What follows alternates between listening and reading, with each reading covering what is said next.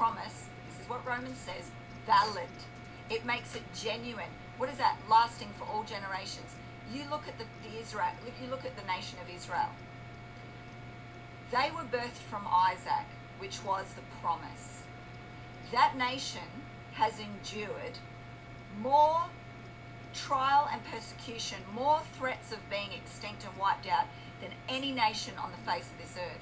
They, over the centuries, over the thousands of years since it, it was born through Abraham's loins, Isaac, through the nation of Israel was born. Why could that nation, that little nation, survive such fierce assignments of extermination? Because it was born by faith through an act of grace.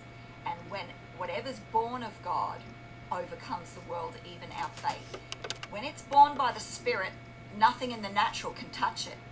Nothing in the natural will be able to kill it off because whatever's born of God overcomes the natural opposition. And that is why the nation of Israel continues to exist in this day.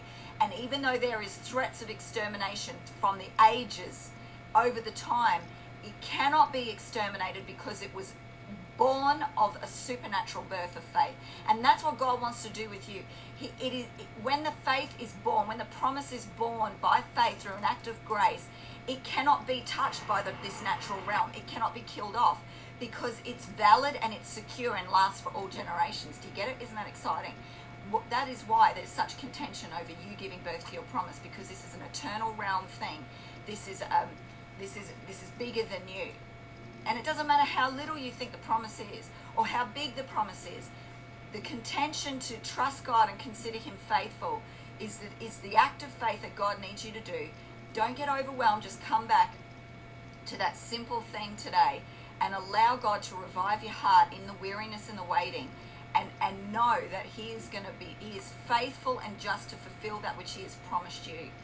And He is able to complete that which He started, the Bible says. So I just wanted to um, share that with you today, but I actually want to lead you in prayer. Those of you that have felt they've wavered, those of you have felt weary, those of you have felt that, you know, unbeknown to you that you've maybe put God on trial. Maybe that you he has his faithfulness has been put on trial. And I just really feel like there needs to be a realignment of our hearts and we need to submit and and surrender our heart again to the word of God as we resist the devil. See, we have to, to resist him and to, to get rid of those decrees and those that, that, that pressing voice, whether it's a natural circumstance voice or a, or a projective voice in, that is just attacking your mind and your heart and causing like that divination spirit that causes that, that thing to choke off your faith and choke off hope and cause you to want to give up and just surrender to it. The way to get free of that thing is to come back to the Word of God, submit yourself to the Word of God, resist the devil. He's got to go. It's not bigger than God, it's not bigger than the promise.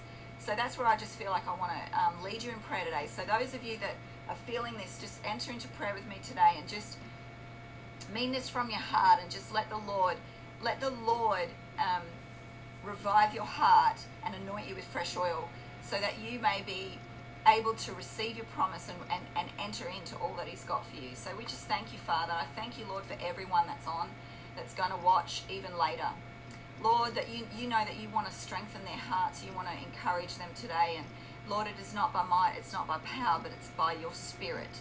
And we just agree with your word today. Lord, we renounce all agreements with the enemy today we we we actually ask for forgiveness and repent for all agreement with a lie where we've where we've been led astray by by a seducing spirit that's tried to lure us into doubt and unbelief that's tried to lure us into questioning your faithfulness lord this moment we repent and we renounce all agreement with that where we've spoken in agreement we've even complained we've murmured We've even uh, said things that, that are contrary to your promises, and we've allowed, our mouths have run over time. Lord, we ask for forgiveness for every word spoken that's been in um, unbelief, that's been in doubt. Lord, we ask you forgiveness. You are faithful and just to forgive us and wash us and cleanse us of all unrighteousness. Lord, we thank you, Lord.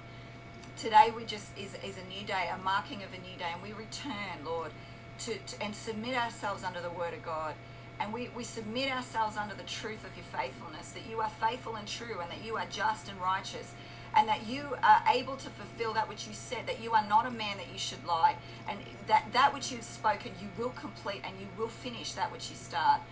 And we just submit ourselves to that word right now. We thank you, Lord, and we agree, we wrap our hearts around that word. We agree with your faithfulness. We agree with your person, with the character of your person.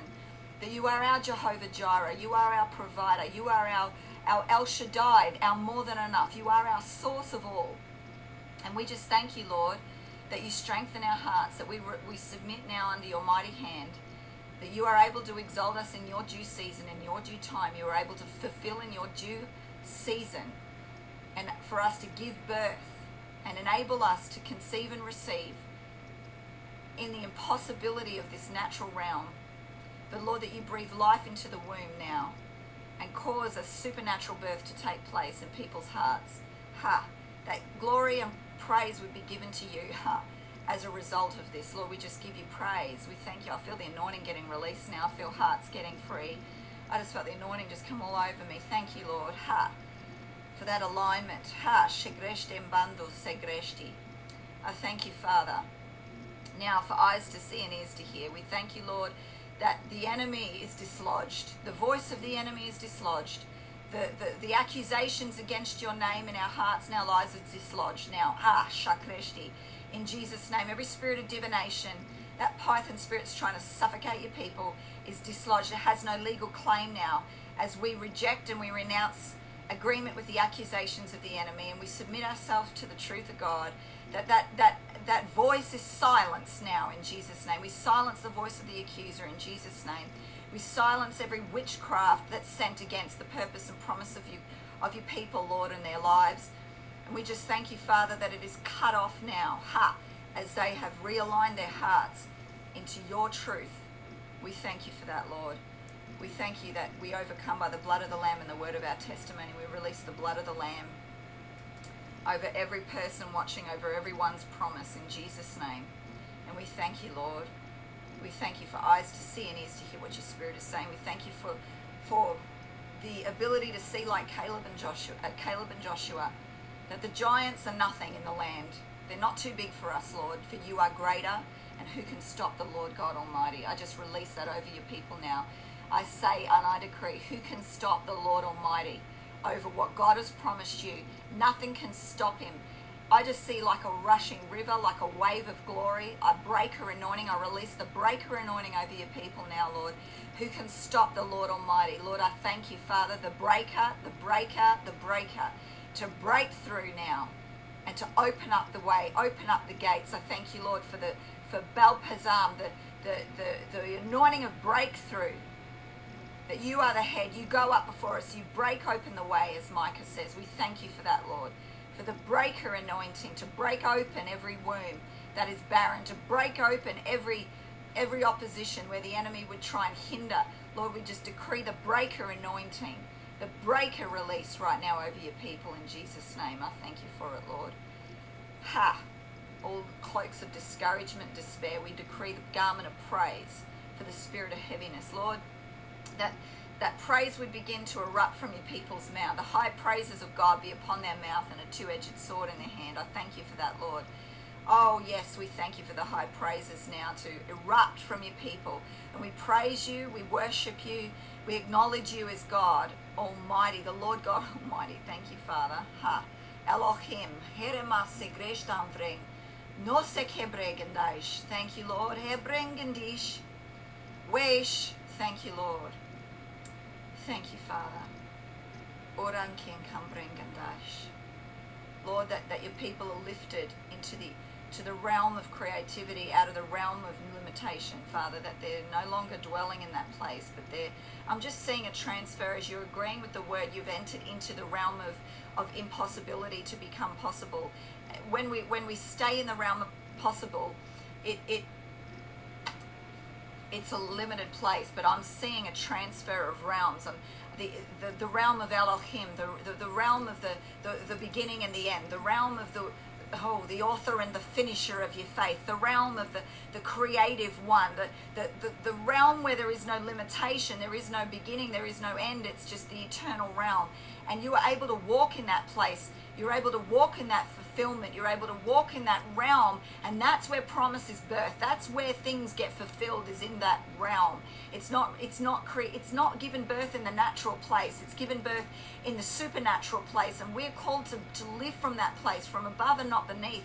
We're called. We're seated in that place, and and I just encourage you. That's the place to stay, and that's the place the where there's. I'm seeing it like above the earth sphere that's the place where your promises get fulfilled. That's the place where the impossibles happen. That's the place. So stay in that place because that's the place where where all things are, pos- are possible to those who believe. Amen. Oh, I love it. I've had a great time with you guys this morning. Sorry I haven't read your comments. I'll probably have a little read later uh, I just I get in my space, I get focused in what I'm doing. So I just wanted to release that word over you. I just um, ha rengendish, vrongindashti, love it. I feel in the anointing. I hope you guys are in the presence of God. Stay in the presence of God. Stay in faith. Stay in belief. Stay in hope. Stay in trust. Ha reshti kresh, and let the high praises of God be upon your mouth. Praise Him. Praise Him into praise Him into your victory. Hallelujah. Praise Him into your victory. Thank you, Lord. Oh, Greshti. You know, there's a, there's one of the words, the Hebrew words of praise and worship. I can't remember it right off the bat. You probably guys would know, you know, there's seven seven ones, but I can't remember it now. But I teach it, but I can't remember it. But it's one that's there's a praise that God inhabits the praises of His people, and it's that type of praise where He inhabits and He comes and creates and heals, and He moves and, he, and miracles happen is a praise in which we praise where the circumstances are opposite to our faith. And if you can praise in that place, God's power enters that, that place of limitation and breaks through and causes a creative, miraculous power to be manifest in that place. So I just encourage you to praise Him and to let that praise release. The praise in the midst of opposition is what creates a miraculous anointing to manifest in your life. That's why it's so it's so powerful to praise. So just go off and praise him now and agree with what he said and agree with his faithfulness. Praise him for his faithfulness. And um and just see him move in your life. Love you guys. Bless you. Thanks for being with me. And we'll catch up soon. Bye.